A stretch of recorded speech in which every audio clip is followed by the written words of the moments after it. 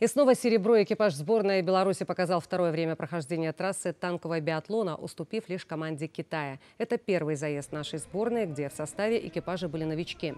Наводчик Андрей Пакулис, для которого нынешний танковый биатлон первый, справился со всеми целями, показав стопроцентное попадание.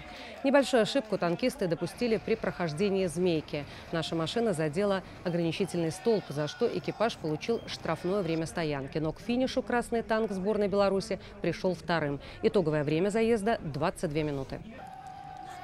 На мой взгляд, э, у нас у экипажа все получилось, экипаж здесь слаженно, с поставленной задачей мы справились. Ну, у меня личного волнения уже не было, третий раз участвую, хотя командир танка первый раз. Наводчика немножко в начале было, как сел в танк, на волнении никого уже не может быть и нет.